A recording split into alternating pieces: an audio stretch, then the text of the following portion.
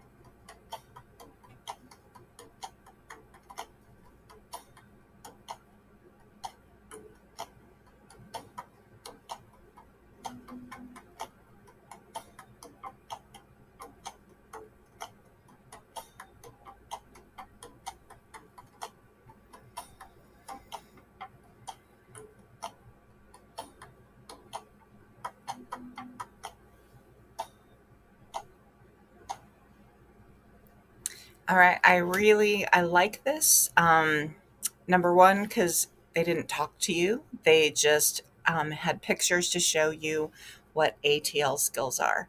And um, if you noticed, they put them, they likened them unto tools in a toolbox. So if you're going to complete a project, having the right tools are very, very important.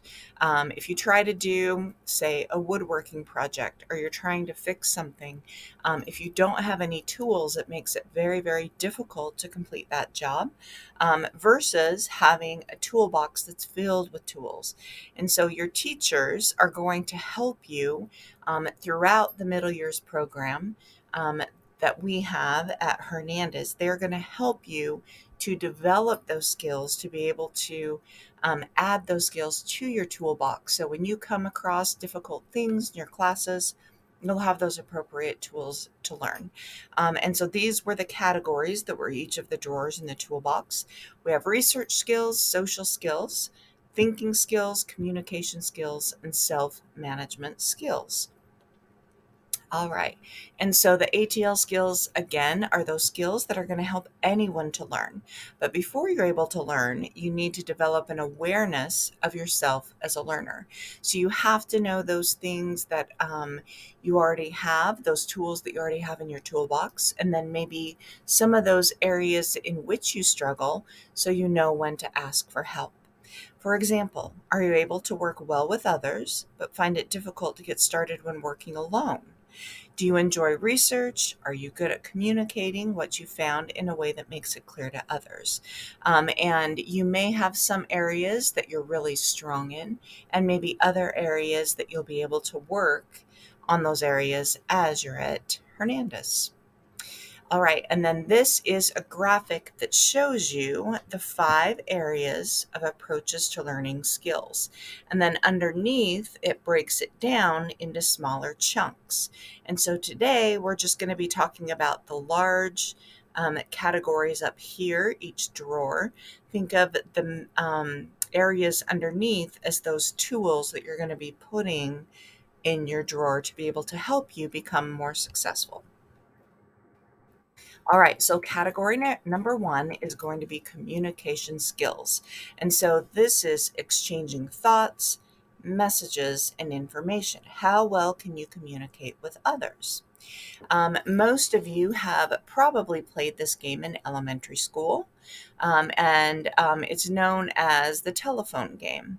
And so the premise is the teacher whispers a word into the ear of a student on one end of the classroom, and then next, that student whispers that same word to the person sitting next to them, and so on. And once it gets to the last person, he or she then tells the class the word that they heard. Um, and if you have played this, um, then you probably know that even if it's a simple word or simple word, like maybe bulldozer, by the time you get to the end, you may get bulldozer or you may get a word that's completely different. Because as you know, when information passes unreliable, unreliably from one to the next, to the next, to the next, it might change. Um, and so, what does this tell us um, about the importance of accurate communication? Um, that it, if information just passes from person to person, it may not be accurate. Um, that also might tie into gossip. Um, have you ever heard gossip that's gone around, or maybe what started out um, as truth, then um, additional information is added to that. And maybe by the time it gets down the line, the gossip probably, and that's when it does become gossip instead of truth, um, because you have those inaccuracies. All right, category number two is social skills. And so these are those skills that are going to help you work effectively with others. And if you look on this graphic, we have different skills that deal with collaboration. So that means that you're able to work in a group um, and to work successfully in that group. All right, so we're going to try to solve this riddle. Um, three doctors said that Robert was their brother. Robert said that he had no brothers. So who is lying? Um, anyone know the answer to this one? Have you heard this one before? Um, you may be able to, your teachers may have you, may stop the video and then have you just talk it out with someone, see if you can figure it out.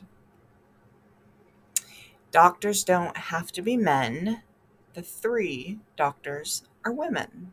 Okay. Did any of you come up with that answer to that? And then our follow up question is why is it important to be able to work well with others?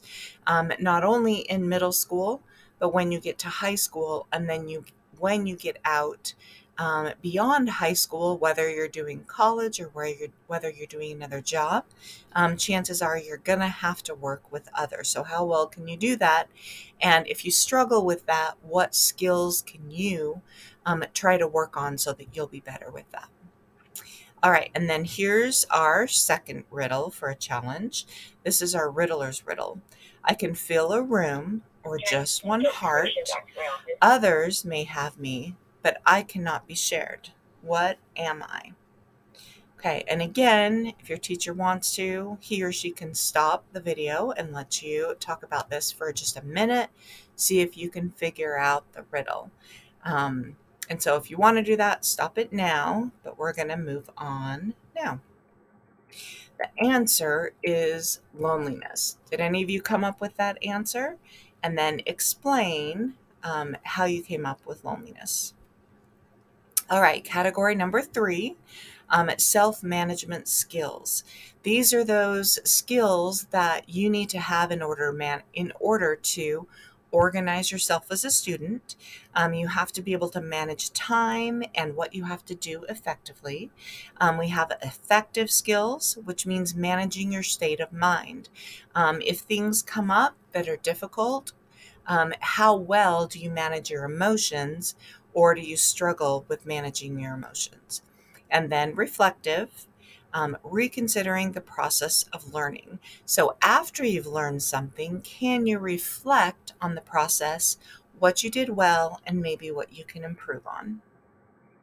All right, so here is one mindfulness activity that we can do. Um, you're going on a holiday to Hawaii. Name 10 articles of clothing you would need to take and what you would need to organize. Okay. And so if you have time, and again, this is up to your teacher, um, if you want to make a list of those things about going on your vacation to Hawaii, um, and maybe how would that change if, say, you were going to Alaska versus Hawaii? What, what, or how would those articles of clothing change? And then here's another mindfulness activity. Um, all of us seem to love emojis. So, for positive emotions, for the next week, choose two positive emotions that you will feel for each day. What are those two positive emotions that you're going to feel? Then think and discuss um, and how will you um, talk about the language you'll show for each of your emotions. Okay, so again, as a class, your teacher may have you work on this mindfulness activity. All right, so that's it for today, Bulldogs. Um, we will be back tomorrow where we will discuss categories four and five for ATL skills. So I hope you have a great day, and we'll see you back tomorrow.